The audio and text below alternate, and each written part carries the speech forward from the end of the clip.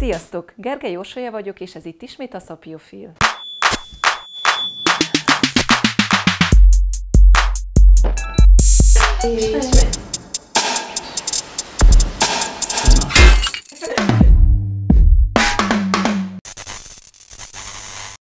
Ha a jó ízlésünket elküldjük a virágüzletbe, akkor a Valentin napot tekinthetjük akár a nagy szerelmi gesztusok napjának is. Narciszok. Ez a kedvenc virága. Honnan szerzett ennyit? Öt államot bejártam érte. Szocializációnk során megtanuljuk azt is, hogy hogyan kell az érzelmeinket kifejezni, hogyan kell udvarolni, hogyan válasszunk párt, és hogy viselkedjünk egy kapcsolatban. De lassan ezeket a társadalmi mintákat kidobhatjuk a kukába, mert, amint a múlt részben is említettem, a gyors társadalmi változások világát éljük, minden nagyon pörög, és a szüleinktől látottakat és tanultakat már nem tudjuk maradéktalanul felhasználni. Szóval, most Valentin nap alkalmából rázzuk le magunkról a rózsaszírmokat, ássunk le a műanyag szívek legaljára, és nézzük meg, hogy melyek a legújabb párkapcsolati kihívások, mert ott is akad változás bőven.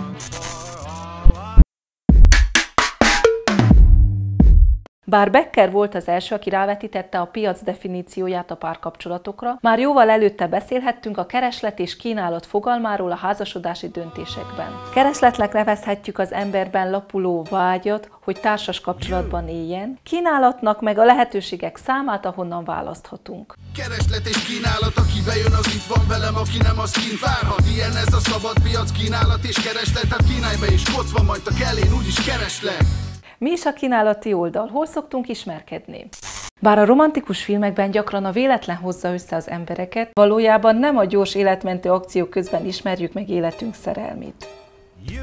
Régebb három fő házasodási piacról beszélhettünk, a lakhelyről, az iskoláról és a munkahelyről. Főképp ezekben a berkekben találkozhattak és ismerkedhettek az emberek, és ezek közül a felsőoktatási intézmények voltak a leghatékonyabbak. Ez mostanra kibővült a közösségi média által nyújtott lehetőségekkel, az online teret tekinthetjük a negyedik párkapcsolati piacnak.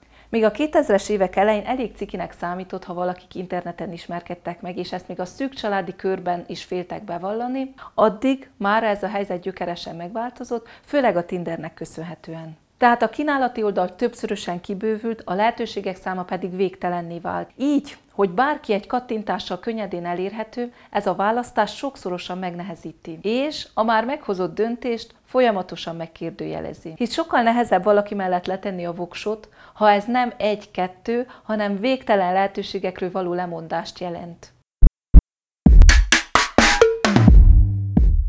A rendszerváltás előtt ha valaki 26 éves koráig nem állapodott meg, akkor adót kellett fizessen. Ezt vénlegény vagy vénleányadónak nevezték. Volt egy társadalmi nyomás, és az akkori fiatalok így a 20-as évek elején már családot alapítottak. A mostani fiatalok a 20-as éveiket önismerettel, önfejlesztéssel, utazással, bulikkal, tapasztalatszerzéssel töltik. Popper Péter szerint az emberek jó része nem akar felnőni, viszont egy működő párkapcsolathoz előbb-utóbb ez elengedhetetlen. Mert nem fogja mindig a párja nevelgetni, vagy vak vezet világtalant, ha mind a ketten el akarják odázni a felnővést.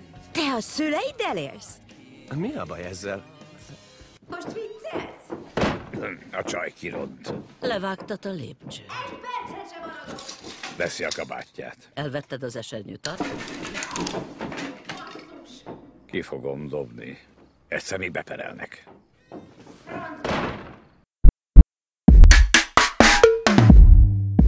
Nagyszüleink generációjában a házasságok még tényleg addig tartottak, amíg a halál el nem választotta egymástól a feleket. Ők megjavították a dolgokat, és nem újat vásároltak. Bizonyára közrejátszik ebben az is, hogy az üzletekben nem sok mindent lehetett kapni, vagy nagyon sokat kellett sorba állni. A tartóságot egyrészt segítette a társadalmi rendszer és a kínálati oldal korlátai. Másrészt pedig nem bombázta őket nap mint nap a média és a közösségi média tökéletes férfiak és tökéletes nők képeivel, azt az érzést keltve bennük, hogy választhattak volna szebbet, jobbat, mint az a partner, aki mellettük van. Ne feledjük el, hogy ez csak egy vizuális illúzió, és ő sem jár a nap 24 24 órájában csücsörítve, pucsítva, izmait megfeszítve. Az online világban azt szokjuk meg, hogy amit szeretnénk, az azonnal teljesül, hogy bárkit ki lehet offolni, és ha valamit elrontottunk, hát Ctrl-Z.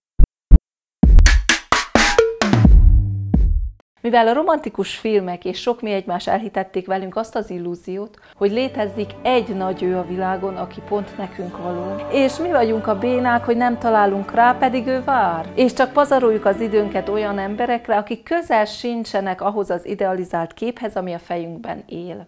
Anya, nincs szükségem vakrandikra. Főleg nem valami diszlexiás axűzzel, aki füstöl, mint a kémény, iszik, mint a gödény, és úgy öltözik, mint az anyja.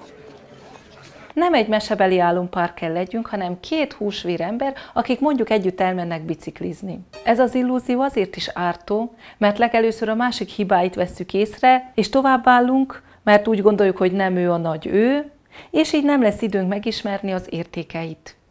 Minden látszat ellenére nagyon is kedvellek. Eltekintve a bagótól, a piától és a vulgáris anyámtól. És hogy be nem áll a Nem, pofám. nagyon tetszel nekem. Úgy, ahogy vagy. Találd meg önmagad, érd el a vágyaid, légy boldog most. Ezt közvetíti felénk a média és a kortárs társadalmi eszme, hogy imádjuk önmagunkat és legyünk nagyon-nagyon egyediek.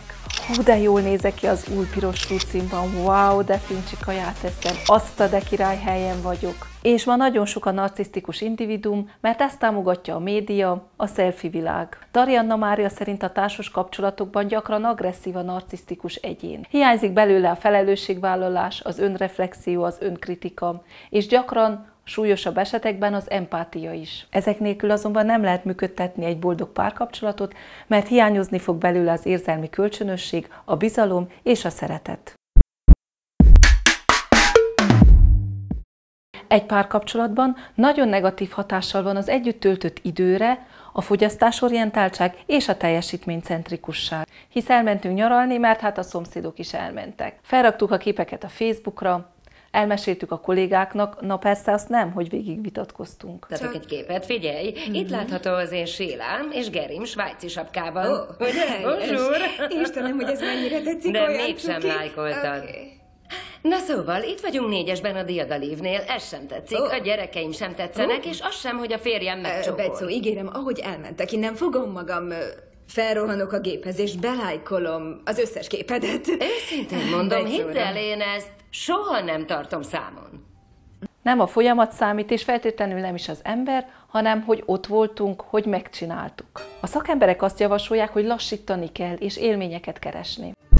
Körbe biciklizni Hargita megyét, elmenni egy olyan erdélyi városba, kettesben, ahol még nem jártunk, sátorozni a Szent Annatónál, együtt kezdeni paleodiétázni. Igen, ezek teljesítmények, de együtt, lassabban, ahol lehet sokat beszélgetni, lehet vitatkozni, majd kibékülni, és olcsó meg lehet úszni. Nem az a lényeg, hogy sok pénzbe került, és akkor már muszáj jól telnie, hanem minden perc egy kihívás és közös út.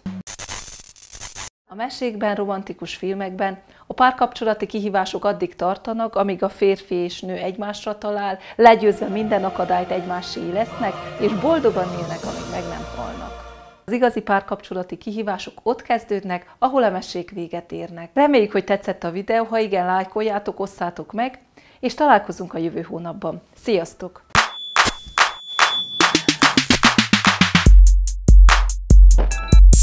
És